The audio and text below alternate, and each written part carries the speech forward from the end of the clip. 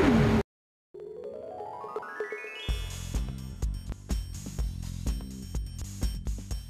RSS के आरएसएस के नुमाइंदे हों चाहे भारतीय जनता पार्टी के नुमाइंदे हों चाहे कांग्रेस के नुमाइंदे हों चाहे किसी का नुमाइंदे हो किसी के अंदर अभी इतना दम नहीं है कि भारतीय संविधान को बदलने का काम करें। और आज भारतीय आप भी कह रहे हैं किसी के अंदर हिम्मत नहीं है संविधान बदलने का। जी, जी।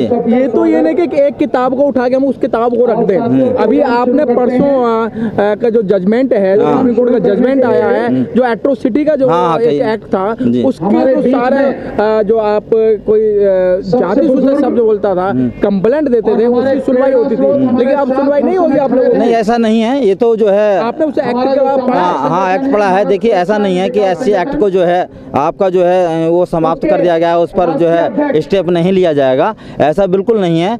ये उन्होंने जो उस प्रकार जैसे कि कुछ लोग ऐसे थे जो तथाकथित वाले जो लोग थे जो तथाकथित वाले उस एक्ट का जो गलत जो इस्तेमाल करते थे उसे ब्रेकिंग लगा करके और उसे जो है सही प्रकार से उस पर काम करके जो है, अगर एक जो चोर है, उसे चोर की सजा दिलाने के काम आज भी होगा, कल भी हो रहा था और परसों भी होगा। शुरुआत करें।